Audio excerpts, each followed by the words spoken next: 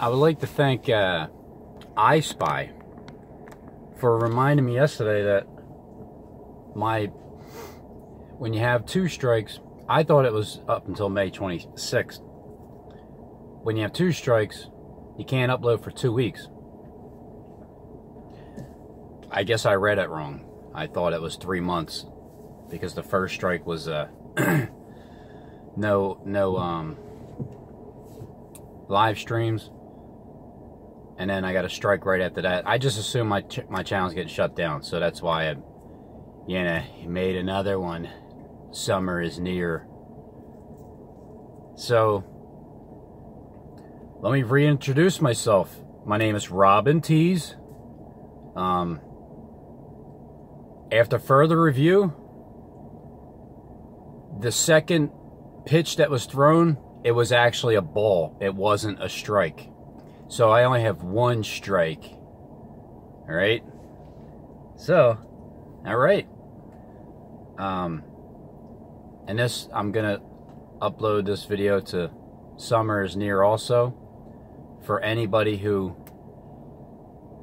subscribed to that channel and didn't know about Robin's Hood channel.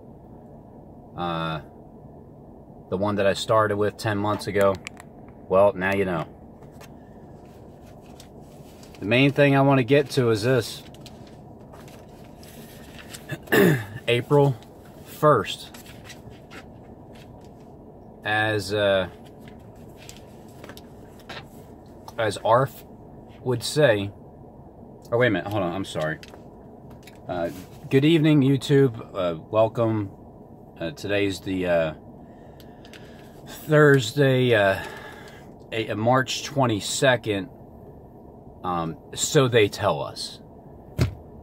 Apparently, it's not even the, the new year yet because the big old April Fool's joke is, April Fools, it's really the beginning of the new year. It's the first month. So, that first month written about in Daniel, that Daniel talks about ha having to, to, to withstand the, the to tolerate uh, the king, uh, the princes of Persia, I believe it is. I'm gonna get to it in a minute. I'll read it. but for 21 days, he eats no pleasant thing, nor wine. Um, whether that's more than likely, it's spiritual meaning that eating no pleasant thing is just there's no there's no true gospel anymore. So when you look, let me just read it. Get to it. In the third year of Cyrus, king of Persia, a thing was revealed unto Daniel, whose name was called Belteshazzar. And the thing was true, but the time appointed was long. And he understood the thing, and he had understanding of the vision. In those days, I, Daniel, was mourning for three full weeks in those days. So in the third years when he had the vision he understood it, but the time was appointed. It was it was it was a long period of time away. But he understood the, the vision. I ate no pleasant bread. Okay, well bread, bread of life, uh, water, the gospel, the uh, fountains of water, so when he's eaten no pleasant bread, nor came flesh, nor wine in my mouth, neither did I anoint myself at all, till three whole weeks were fulfilled. And I just, I think about that. I've thought about it, thought about it, thought about it. Obviously, something's jumping off with this 21 days. But let me get to where he's talking about the first month. this is chapter 10. And in the four and twentieth day of the first month, and I was by the side of the great river, which is Hiddekel. Now the four, the 24th day of the first month. The biblical calendar has always been different. And I remember it's the 17th day 17th day of the second month is May 21st. The 17th day of the second month is May 21st. That's what I remember from Harold Camping's teachings. Now, this here, I mean, it's something that RFB has always said, so they tell us. And it all makes sense that the beginning of the new year is actually April 1st. Because that's the big joke, right? Haha, April Fools. Now, when you're not eating anything, any pleasant bread, well, you're not, you're not, there's no good gospel whatsoever. So is this the shift? Is this the shift on May 20, on April 1st? Is this when all real channels do get shut down and then it's nothing but liars? I guess we'll find out, right? I mean, with this channel here, just like I said, I, I just assumed it was gone. I mean, that's why, you know, that's why that's there and not Robin's Hood. You see? So I guess I better add that. you know, in case people want to pick up your cross and, uh, you know, pick up your cross and follow me and repent because, you know, the day the Lord is fulfilled. So uh, then I lifted up my eyes and looked, and behold, a certain man clothed in linen, whose loins were girded to the fine with fine gold of Uphaz. His body also was like the beryl, and his face is the appearance of lightning, and his eyes as lamps of fire, and his arms as feet in color to polished brass. Obviously, we know who we're talking about here. Um, and his feet were like the color of polished brass, and the voice of his words were like the voice of a multitude. And I, Daniel, alone saw the vision. For the men that were with me, they saw not the vision, but a great quaking fell upon them, so that they fled to hide themselves. Therefore I was left alone, and saw this great vision, and there remained no strength in me, for my comeliness was turned into me into corruption, and I, re- I remain no I remain no strength, retain no strength. Yet I heard the voice of his words, and when I heard the voice of his words, then I was in a deep sleep my face, and my face towards the ground. And behold, and a hand touched me, which set upon me upon my knees, upon the palms of my hands. And he said to me, O Daniel, a man greatly beloved, understand the words that I speak unto you, unto thee, you thee, and stand upright. For unto you am I now sent. It sounds like after these three weeks of eating no pleasant gospel whatsoever, that's when he's now sent. You know, Michael, the archangel, which explains that as I read. And for unto thee I am now sent. And when he had spoken this word unto me, I stood trembling. Then he said unto me, Fear not, Daniel, from the first day that thou didst set thine heart to understand and to chast- chasten yourself before your God, your words were heard, and I am come forth by your words. But the prince of the kingdom of Persia, the prince of the kingdom of Persia withstood me one and twenty one days. But lo, Michael, one of the chief priests, came to help me, and I remained there with the kings of Persia. Kings, that's plural, right? Of Persia. What's what is Persia? What what is the modern day Persia? Now I am come to make you understand what shall befall thy people in the latter days. For yet the vision is for many days. How many? There's a there's a part where it's the vision is, is uh, when when he understood the vision, understanding the vision. The time appointed was long, and down in verse 14, for yet the vision is for many days. Now, one day is one day, two days is a couple, three days is a few. After that, it's many. However many. Can I turn this down? Sorry, it's, uh, it's a little toasty in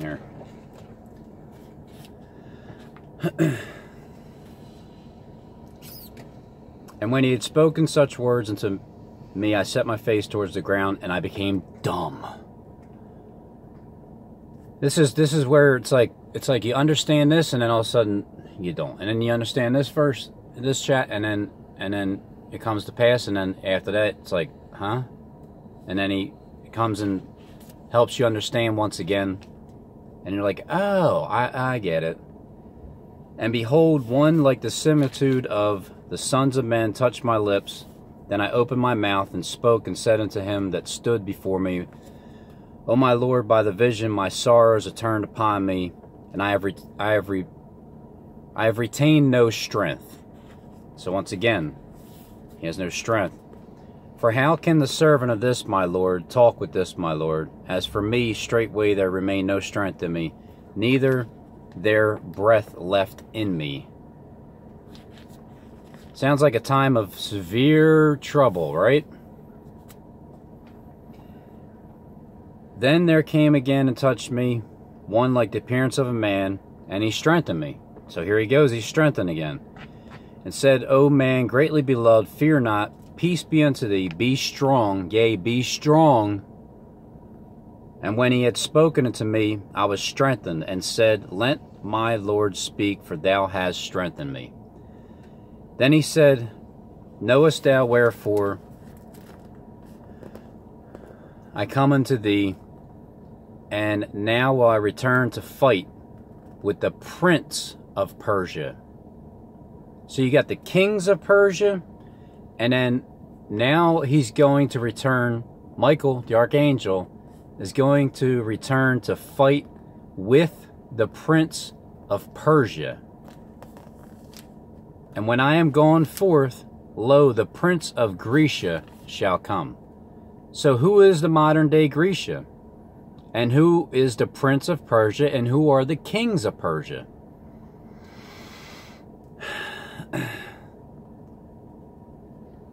But I will show thee that which is noted in the scripture truth, and there is none that withholdeth me in these days, and in these things which Michael, but Michael your prince chapter 11 Also I, in the first year of Darius the Mede, even I, stood to confirm and to strengthen him.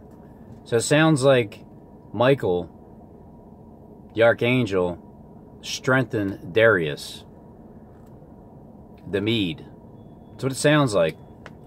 Also I, in the first year of Darius the Mede, even I, stood to confirm and strengthen him and now will I show thee the truth. Yeah, so that's that's God talking basically. Behold, I mean it's His word. So, but it, what I'm saying is that's not Daniel talking. It's still Michael. And I will show thee the truth. Behold, there shall stand up yet three kings in Persia. Okay, so here we go in Persia. Uh, you see how similar it sounds to the United States here with with Trump being the uh, the one that's uh, more stout than his fellows and richer than all the others. At least on TV, it it's portrayed that way because he's like a billionaire and everything. Uh, there shall stand up yet three kings in Persia, and the fourth shall be far richer than they all. So let's see who is if he's the fourth and Obama was the third and and uh, Bush was the uh, second, and uh, and Clinton was the first, well then there you, there you have your fourth. If that's the case, I don't know. I'm just this is where my mind goes when I read it. Shall be then the fourth shall be far richer than they all, and by his strength through his riches he shall stir up all against the realm of Grecia. So who is Grecia? Who is Grecia? Because once the prince of Grecia comes, then you know that that Michael the archangel, when I am gone forth, lo, the prince of Grecia shall come. So there's a prince of Grecia, and then there's against the, the realm of Grecia. So there's a, a, a prince is going to come at us. and a mighty king shall stand up that shall rule with great, great uh, dominion and do according to his will. Sound familiar? And when he shall stand up, his kingdom shall be broken. Bam, that's it. So this the when people think that the Bible is it goes down in line category like one through two, three, four, five, six, seven, and then each verse is like uh, a timeline. It doesn't work that way. God goes back and forth. He hops all around. It's up to you to figure out where he's at. Just like when, just like back in chapter 9, 27, and he shall confirm the covenant with many for one week. Who's he?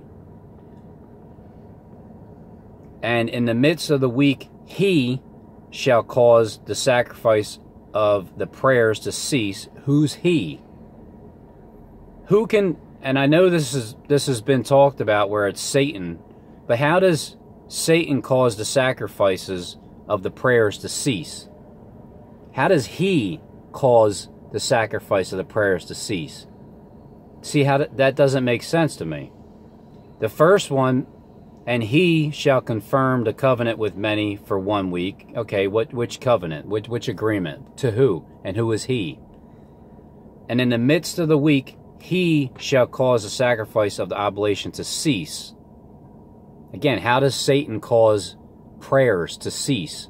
Satan's the one that causes the prayers to exceed. You see what I'm saying? Causes them to cease, and for the overspreading of abomination, he shall make it desolate. Okay, maybe it's going back to talking about Satan again. It sounds like to me it's in the beginning, he's talking about Satan. In the middle, he's talking about God. And in, and the end, he's talking about Satan again. Because that's how God does it. He'll say he, he, him, him, he. And you got to figure out who's he and who's him. And for the overspreading of abomination, he shall make it desolate. Okay? The abomination desolation, right? Even until the consummation, which is the which is the marriage of the Lamb and Christ, and that determined shall be poured upon the desolate. So that's what I'm talking about, where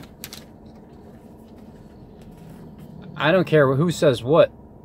There's a week's period of time that he or he is going to uh, make a covenant, but God is the one that can cause the prayers to cease because that's the time of salvation, lifting up. That's it prayers are done. No more praying. No more. No more praying. No more. No more crying. No more fear. No more nothing. That that that sounds like a little bit more in line to me, but I could be wrong.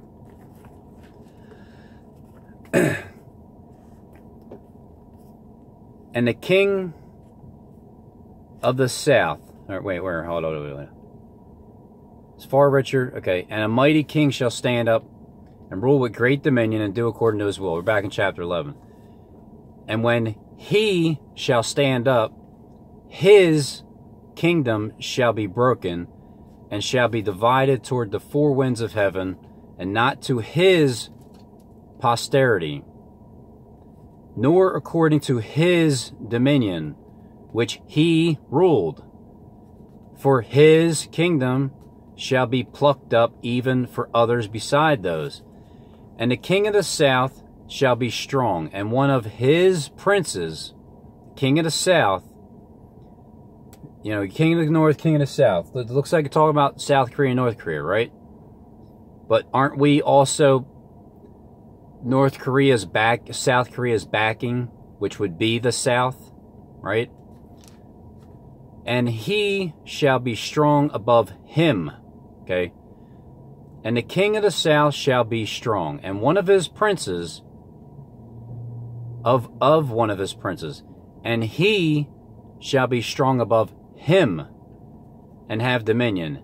His dominion shall be a great dominion. So let's just put those words, those great words. Come on, man. Look, if you want to hear the word of God, just just watch my video, all right? That's all you gotta do. So just pay attention to the him and the he's. Because everybody assumes that it's talking about the same person just because it's in the same verse. And he shall, and the king of the south shall be strong, and one of his princes, one of his princes, you know, one of his princes, the king of the south, and he shall be strong above him. Does that mean the prince is going to be stronger than the king? And have great dominion. His dominion shall be a great dominion. And in the end of the years they shall join themselves together for the king's daughter of the south, the king's daughter of the south. Does Trump have a daughter? Shall come to the king of the north to make an agreement. This is something that I said this about 10 months, uh, 8 months ago. Trump is going to go to North Korea. They're going to they're going to talk about trying to make a peace deal or something or another. And from what I'm hearing now, that's that's exactly what they're trying to do. But that's neither here nor there. Okay, it's it's it's it's it's neither here or there. It's over. It's around there somewhere. But she shall not retain the power to arms, neither shall he stand, nor his arm, but she shall be delivered up, and they that brought her, and he that begat her, and he that strengthened her in these times. It's a lot of he's and hims and hers, right? It's confusing. But out of a branch of her roots, her, you know, the great Babylon, the mystery, the the the harlot, or is it talking about a, a, a woman? just, just a regular woman. But out of a branch of her roots shall one stand up in his estate, which shall come with an army and shall enter into the fortress of the king of the north, and shall deal against them and shall prevail. So it sounds like we're going to destroy North Korea on on TV, the TV bombs, like like the, the letter I wrote back in April April 7th of last year when I was explaining this stuff here, this warning. Alright, I was a year ahead of my time, whatever. But out of the branch of her roots shall stand up one in his estate, which shall come with an army, and shall enter into the fortress of the king of the north, and shall deal against them, and shall prevail. And shall also carry captives into Egypt their God, with their princes and with their precious vessels of silver and gold. That isn't going to be worth crap. So I don't know why anybody would want to buy any of it. Or. There he is. All right, get out. All right, just put your lights on and stand there and act like you're on your phone. But don't look at them. And shall carry, also carry captives into Egypt, their gods with their princes and with their precious vessels of silver and gold. And he shall continue more years than the king of the north. Where is the verse that says that years or days? I don't know. I just know there is one. So is it more years or is it more days? Just like the thousand years is as a day, and a day is a thousand years. So the king of the south shall come into his kingdom, I'm talking. The king of the South to me is is Trump. Okay, I'm just flat out saying it. The king of the south shall come into his kingdom and shall return into his own land. But his sons, boy, Jared Kushner and all those guys, aren't they involved? But his sons shall be stirred up and shall assemble a multitude of great forces, and one shall certainly come and overflow and pass through. Then shall he return. Who's he? and be stirred up even to his fortress. Sounds like Trump's going to be a little pissed off. And the king of the south shall be moved with choler, which is anger, and shall come forth and fight with him, even with the king of the north. Fight with him? Like with him? Or fight with him? The word with, you know, a thousand days is is with the Lord, okay? To reign with Christ for a thousand years, reign with. And the king of the south shall be moved with anger and shall come forth and fight with him, even with the king of the north, and he shall set forth a great multitude, but the multitude shall be given into his hand. Whose hand? Well, his hand, obviously.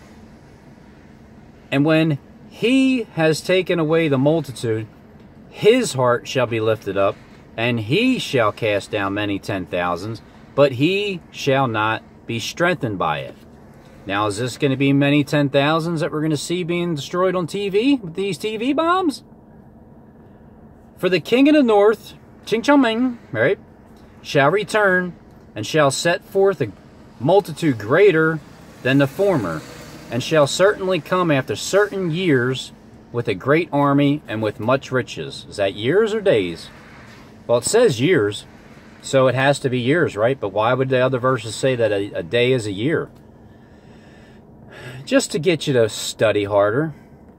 And in those times there shall many stand up against the king of the south, also, the robbers of thy people shall exalt themselves to establish the vision. They have a vision that they're trying to establish, which is the entire end times prophecy written out uh, verse by verse on TV. And in those days, times there shall stand up against the king of the south. Also, the robbers of thy people shall exalt themselves to establish the vision, but they shall fall. Now, who are they? Well, the elite. Okay? They shall fall because they're trying to establish a vision here. And it's just severely obvious what they're trying to do. so the king of the north shall come and cast up a mount and take the most fenced cities now, I said this a long time ago. The most fenced cities sounds like to me uh, Hawaii or uh, Guam or uh, Alaska, like like the those those fenced cities, or could even be New York and California. That you know the ones that are the most important ones.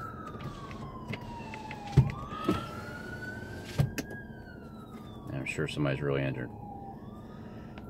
And in those times shall stand up the king of the south, and also the robbers shall extort their vision. So the king of the north shall shall come and cast up a mountain, and cast the most fenced cities, and the arms of the south shall not withstand. So our military isn't going to withstand. At one point, America is going to be first destroyed, right? Completely. You know, that great city, that great Babylon. America America has fallen, has fallen, that great city. I mean, at Babylon. So the king of the north shall come and cast up a mountain, take the most fenced city, and the arms of the south shall not withstand, neither his chosen people, neither shall there be any strength to withstand. But he that cometh against him shall do according to his own will, and none shall stand before him. and he shall stand in the glorious land. Now, I know everybody thinks this is Jerusalem, but is it possible that it's America, the glorious land? the land of milk and honey that people have been promised.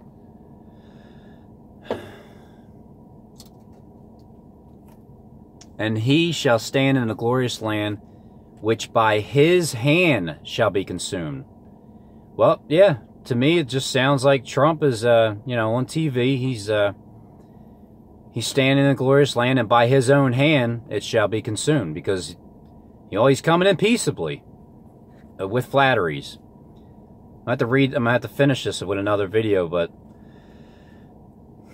he shall also set his face to enter with the strength of his whole kingdom and upright ones with him. Thus shall he do. And he shall give him the daughter of women, corrupting her.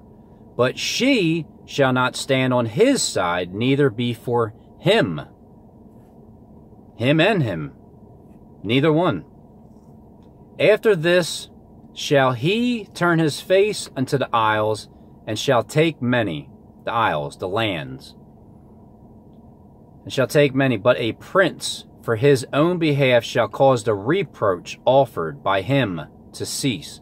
Without his own reproach, he shall cause it to turn upon him. A lot of he's and hims, man. Then he shall turn his face toward the fort of his own land, but he shall stumble and fall and not be found. Doesn't that sound like Hitler? And how we're playing the end times prophecy out again, but this time, this is the last time because all the technology you, you just know. Then shall stand up in his estate. See how it says then as if it's right directly after? But it, to me, it seems like he's going back again. Or is this... No, this one then is right after. Because he shall stumble... Okay, he shall stumble and fall and not be found.